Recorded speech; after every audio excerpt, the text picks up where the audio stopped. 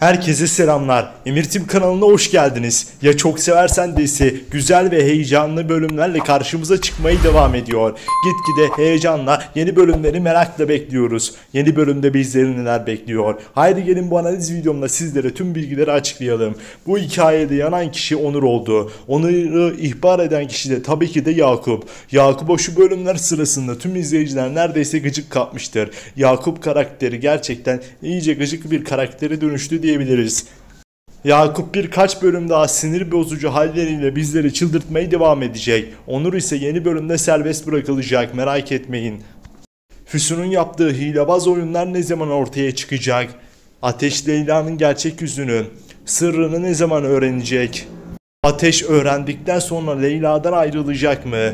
Onun inadına, Leyla'nın inadına Bige ile olma ihtimali var mı?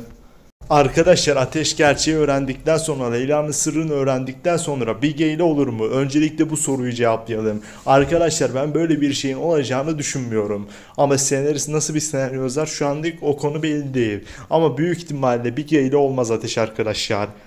Leyla'nın gerçek sırrını öğrendikten sonra, gerçek yüzünü öğrendikten sonra Ateş ve Leyla'nın arasında büyük bir şekilde yüzleşme yaşanır. Ardından ikisi de görüşmek istemez birbiriyle ama unutmazlar ikisi de birbirini.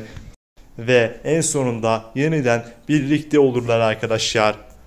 Ben hikayenin böyle ilerleyeceğini düşünüyorum. Füsun'un yaptığı hilebaz oyunlarda birkaç bölüm sonra ortaya çıkacak. En fazla 3 bölüm sonra. Ya çok seversen sakın erken final yapmasın. Bu diziyi severek izliyoruz diyenler de lütfen videomuzu beğensin. Yeni bölüme ait bilgilerden, dizi hakkında yeni gelişmelerden haberdar olmak için de hemen Emir Tim kanalımıza abone olmayı unutmayın. Abone değilseniz abone olun videolarımızdan ilk haberdar olursunuz. Şimdilik hepinize görüşürüz.